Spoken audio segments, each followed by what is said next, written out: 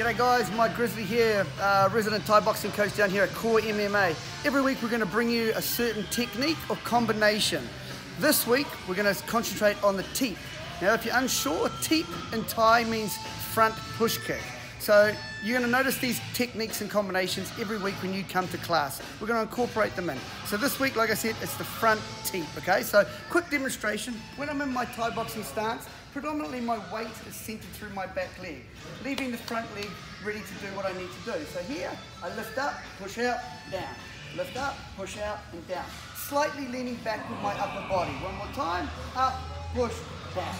Okay, so we're going to demonstrate here with young yogos, okay? push. Okay, that's one defensive way how to throw a teep. The next is off a combination, keeping my opponent at bay, letting him not come in for his counter, okay? So watching, one, two, three, low, teep.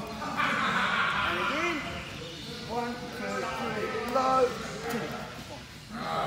Okay guys, there you go, there you have it. Front push kick, teep. We'll see you tonight 6 p.m. down at Core MMA. If you ain't kicking, you ain't living.